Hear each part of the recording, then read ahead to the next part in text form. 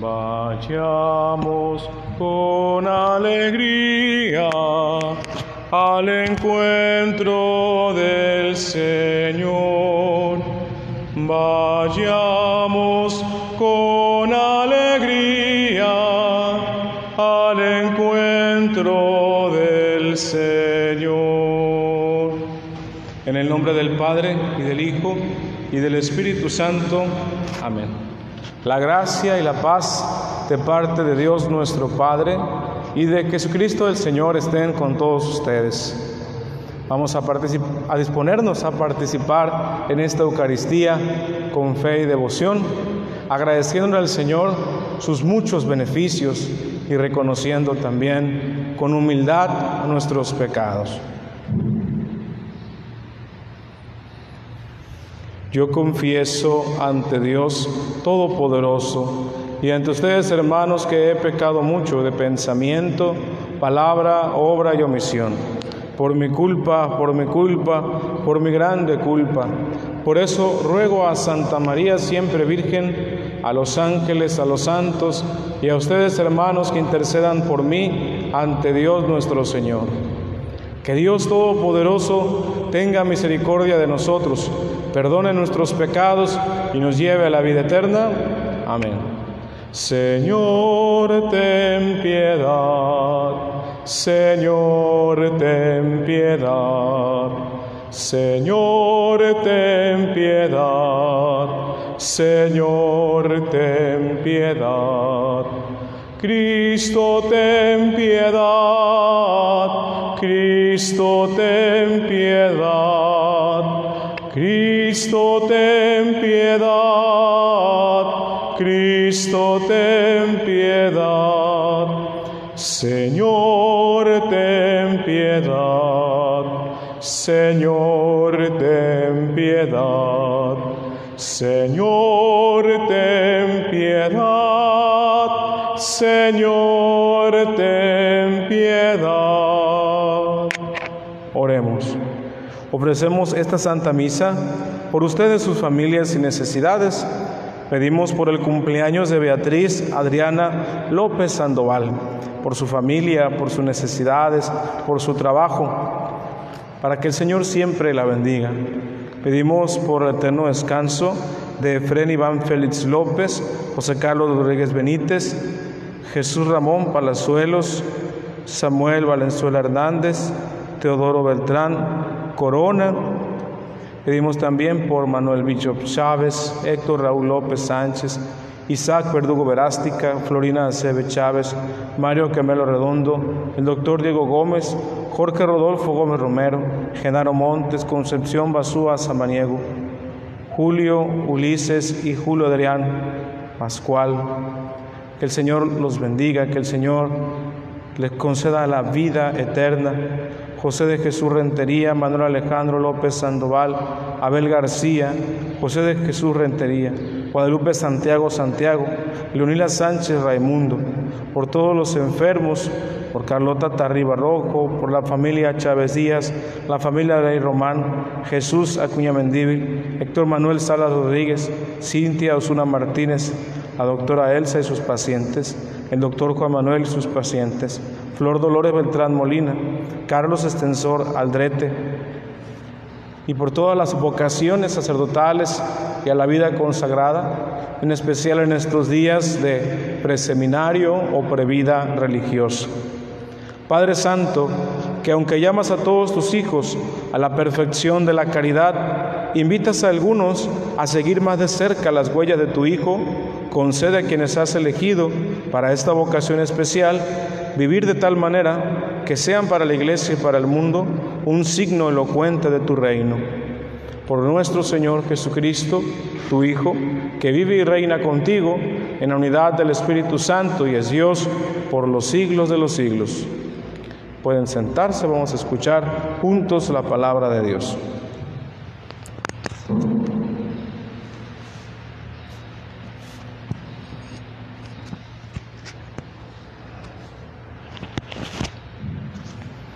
Del libro del profeta Oseas.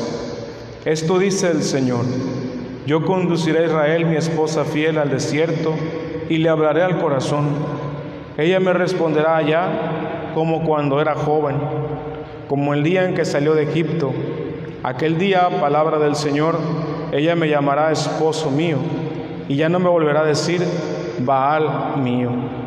Israel, yo te desposaré conmigo para siempre, nos uniremos en la justicia y la rectitud, en el amor constante y la ternura. Yo te desposaré en la fidelidad y entonces tú conocerás al Señor. Palabra de Dios. El Señor es compasivo y misericordioso.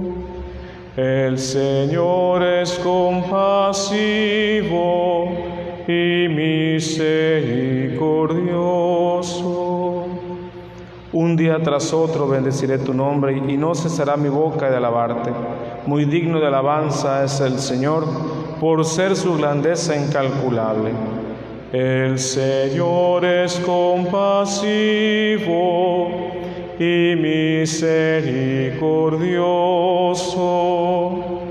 Cada generación a la que sigue anunciará tus obras y proezas. Se hablará de tus hechos portentosos, del glorioso esplendor de tu grandeza. El Señor es compasivo y misericordioso. Alabarán tus maravillas, prodigios, y contarán tus grandes acciones. Difundirán la memoria de tu inmensa bondad y aclamarán tus victorias. El Señor es compasivo y misericordioso el Señor es compasivo y misericordioso, lento para enojarse y generoso para perdonar. Bueno es el Señor para con todos y su amor se extiende a todas sus criaturas. El Señor es compasivo y misericordioso. Aleluya, aleluya. Aleluya. Jesucristo nuestro Salvador ha vencido la muerte y ha hecho resplandecer su vida por medio del Evangelio. Aleluya, aleluya, aleluya. El Señor esté con ustedes. Del Santo Evangelio según San Mateo. En aquel tiempo, mientras Jesús hablaba, se le acercó un jefe de la sinagoga, se postró ante él y le dijo, Señor, mi hija acaba de morir, pero ven tú a imponerle las manos y volverá a vivir. Jesús se levantó y lo siguió, acompañado de sus discípulos. Entonces, una mujer que padecía flujo de sangre desde hacía doce años, se le acercó por detrás y le tocó la orilla del manto, pues pensaba, con solo tocar su manto me curaré. Jesús, volviéndose, la miró y le dijo, hija, ten confianza, tu fe te ha curado. Y en aquel mismo instante quedó curada la mujer. Cuando llegó a la casa del jefe de la sinagoga, vio a Jesús, a los flautistas y el tumulto de la gente y les dijo, retírense de aquí, la niña no está muerta, está dormida. Y todos se burlaron de él. En cuanto hicieron salir a la gente, entró Jesús, tomó a la niña de la mano y ésta se levantó. La noticia se difundió por toda aquella región. Palabra del Señor. Siéntense un momentito.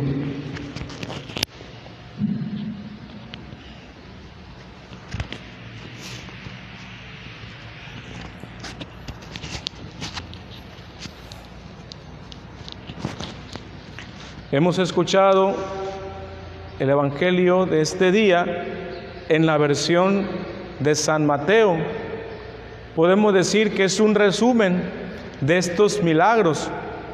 ¿Por qué un resumen? Porque el evangelista San Marcos nos cuenta con lujo de detalle todo lo que sucedió, todo lo que aconteció. Es muy extenso en la narración San Marcos de estos acontecimientos, desde la petición de Cairo, desde la caminata, desde el tumulto de gente alrededor de Jesús y ese detalle que omite San Mateo cuando Jesús dice, ¿quién me ha tocado? Porque de repente sintió que una fuerza salió de su ser, salió de su interior y resulta ser que esta mujer es la que dice, apenada y vergonzosa, fui yo, Señor, quien te tocó. Por esa fe, con solo tocar tu manto, yo sé que quedaré curada. Y así es también, hermanos, nuestra fe en el Señor tiene que ser fuerte y sin vacilar. Como Jairo insistió a nuestro Señor que fuera a curar a su hija y en ningún momento perdió la fe, incluso cuando le decían que la niña ya estaba muerta, que no tenía caso seguirle insistiendo al Señor. Y hay veces en que nos pueden a nosotros alguien insistir, ya no tiene caso que reces, ya no tiene caso que pidas por esta intención, ya no tiene caso que sigas adelante, ya no tiene caso que perseveres en las cosas de Dios.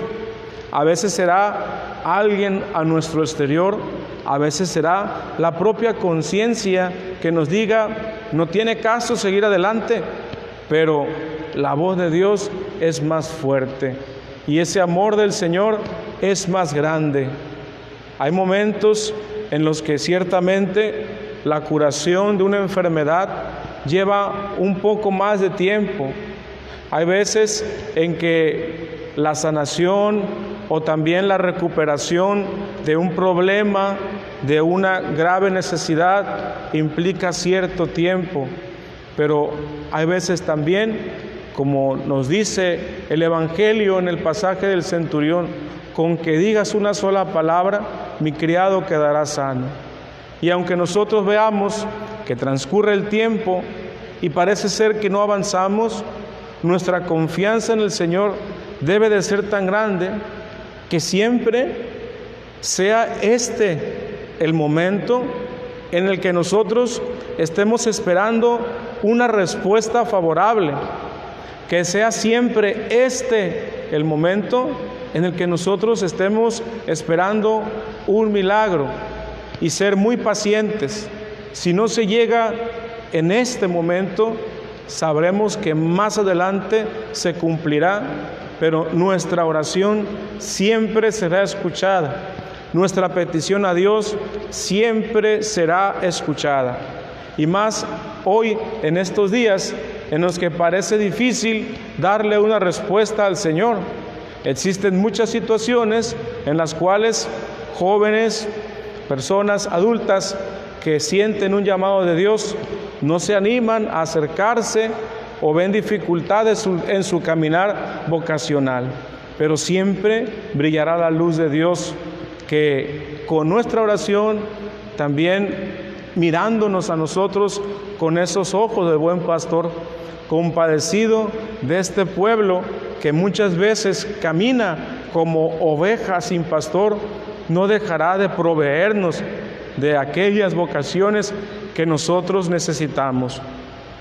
Por eso hoy encomendamos a Dios esta inquietud vocacional. Hoy encomendamos al Señor esta madurez a través de los procesos vocacionales de cada joven, de cada persona, de cada hombre, de cada mujer. Y sobre todo le pedimos al Señor que esa respuesta sea una respuesta generosa. Porque si es una respuesta generosa, si es un sí decidido al Señor, recordemos todas las promesas que hay para alguien que se entrega a Dios, para alguien que le dice que sí al Señor. Es algo lo que deja, pero es mucho más lo que recibe. Por eso vamos a seguir orando, porque entre más vocaciones haya, también hay más oportunidad de que nosotros nos acerquemos a Jesús. de que nosotros recibamos ese amor y ese poder de Dios que no cesa de hacer milagros en nuestra vida.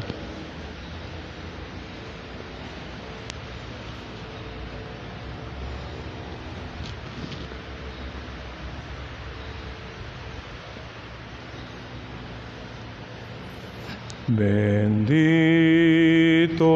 seas, Padre, Dios del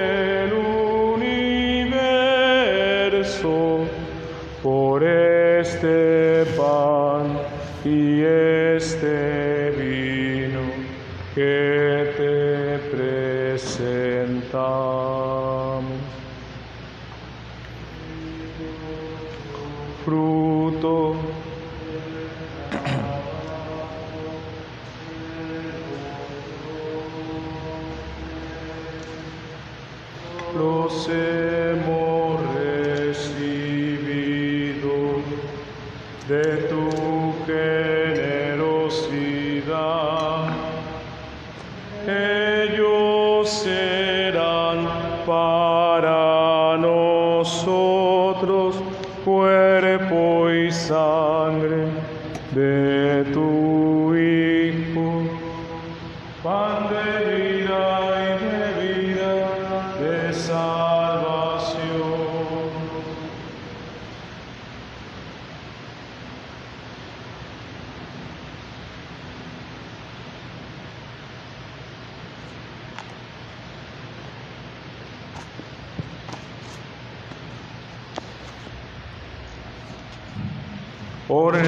para que este sacrificio mío y también de ustedes sea agradable a Dios Padre Todopoderoso.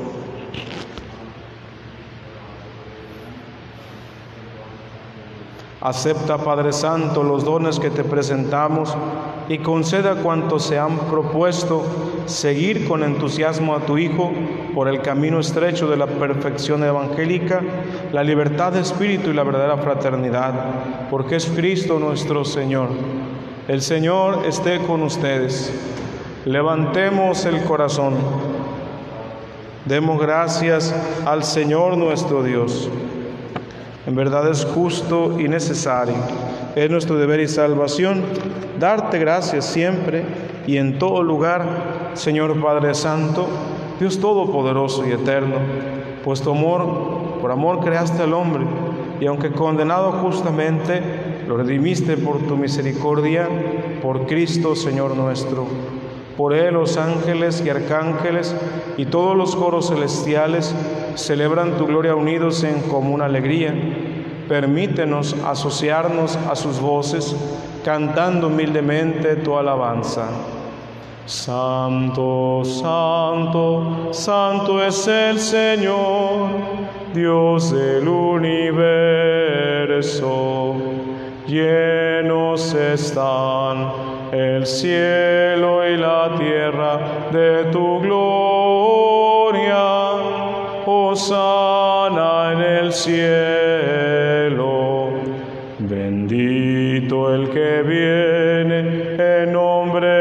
Señor. Hosana en el cielo.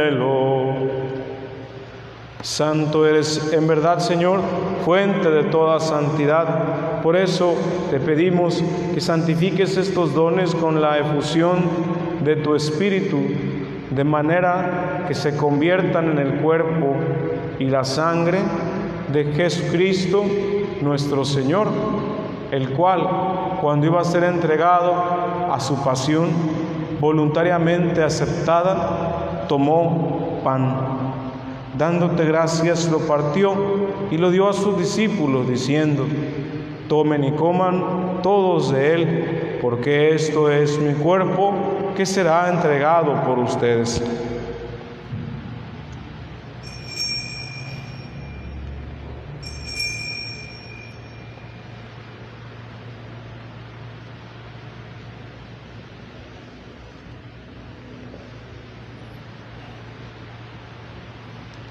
Del mismo modo, acabada la cena, tomó el cáliz y dándote gracias de nuevo, lo pasó a sus discípulos diciendo, tomen y beban todos de él, porque este es el cáliz de mi sangre, sangre de la alianza nueva y eterna, que será derramada por ustedes y por muchos para el perdón de los pecados. Hagan esto en conmemoración mía.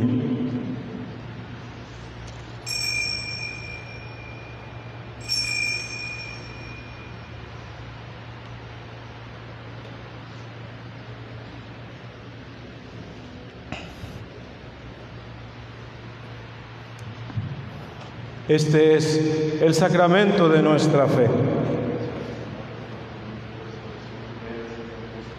Así pues, Padre, al celebrar ahora el memorial de la muerte y la resurrección de tu Hijo, te ofrecemos el pan de vida y el cáliz de salvación y te damos gracias porque nos haces dignos de servirte en tu presencia.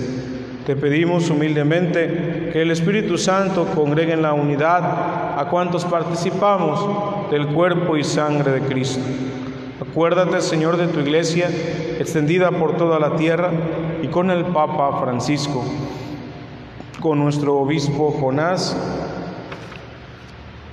y todos los pastores que cuidan de tu pueblo. Llévala a su perfección por la caridad. Acuérdate de tus hijos, Efraín Iván Félix López, José Carlos Rodríguez Benítez, Jesús Ramón Palazuelos Gagiola, Samuel Valenzuela Hernández, Teodoro Beltrán Corona, Julio Ulises y Jesús, Julio Adrián, Manuel Bishop Chávez, Héctor Raúl López Sánchez, Isaac Verdugo Verástica, José Ramón Juan López, Florina Acebe Chávez, Mario Camelo Redón, el doctor Diego Gómez, Jorge Rodolfo Gómez Romero, Genaro Montes, Concepción Basúa, Abel García, Ángel Alfredo Beltrán, Manuel Alejandro López, José de Jesús Rentería, Guadalupe Santiago Santiago, Leonila Sánchez Raimundo, y de todos los que han muerto en tu misericordia, admítelos a contemplar la luz de tu rostro.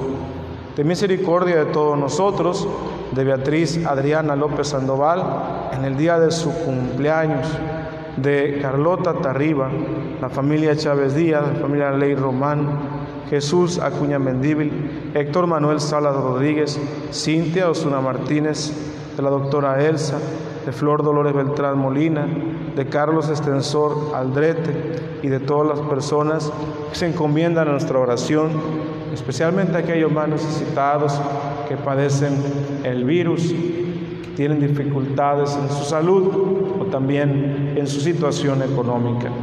Y así, con la Virgen María, Madre de Dios, su esposo San José, los apóstoles y cuantos vivieron en tu amistad a través de los tiempos, merezcamos por tu Hijo Jesucristo compartir la vida eterna y cantar tus alabanzas. Por Cristo, con Él y en Él, a ti Dios Padre Omnipotente en la unidad del Espíritu Santo, todo honor y toda gloria por los siglos de los siglos. Llenos de alegría por ser hijos de Dios, digamos confiadamente la oración que Cristo nos enseñó. Padre nuestro, que estás en el cielo, santificado sea tu nombre. Venga a nosotros tu reino, hágase tu voluntad en la tierra como en el cielo. Danos hoy nuestro pan de cada día, perdona nuestras ofensas como también nosotros perdonamos a los que nos ofenden no nos dejes caer en la tentación y líbranos del mal. Líbranos de todos los males, Señor. Concédenos la paz en nuestros días para que, ayudados por tu misericordia, vivamos siempre libres de pecado y protegidos de toda perturbación mientras esperamos la venida gloriosa de nuestro Salvador Jesucristo. Señor Jesucristo, que dijiste a tus apóstoles, la paz les dejo, mi paz les doy. No tengas en cuenta nuestros pecados, sino la fe de tu iglesia, y conforme a tu palabra, concede la paz, la unidad tú que vives y reinas por los siglos de los siglos. Que la paz del Señor esté siempre con ustedes. Intercambien un signo de comunión fraterna.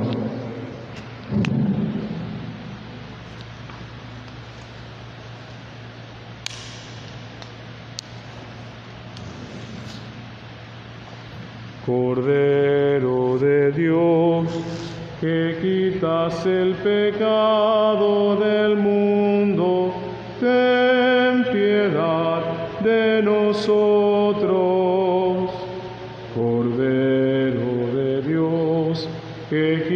quitas el pecado del mundo, ten piedad de nosotros.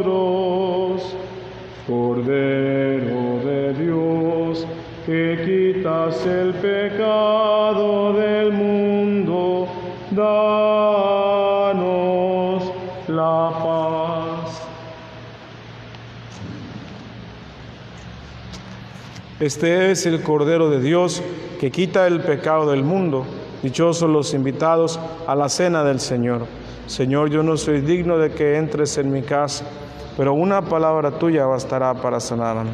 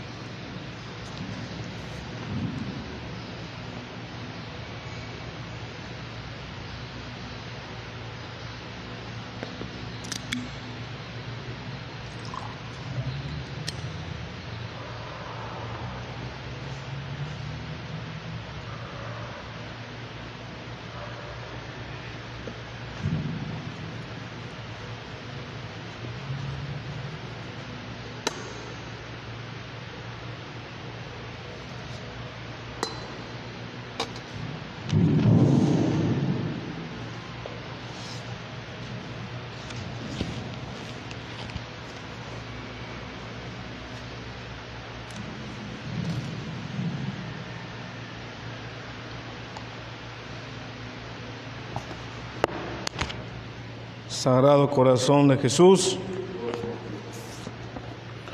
oremos. Fortalece, Señor, a tus siervos con el alimento y la bebida espirituales, para que siempre fieles al llamado evangélico, muestren en todas partes una viva imagen de tu Hijo. Él que vive y reina por los siglos de los siglos. El Señor esté con ustedes.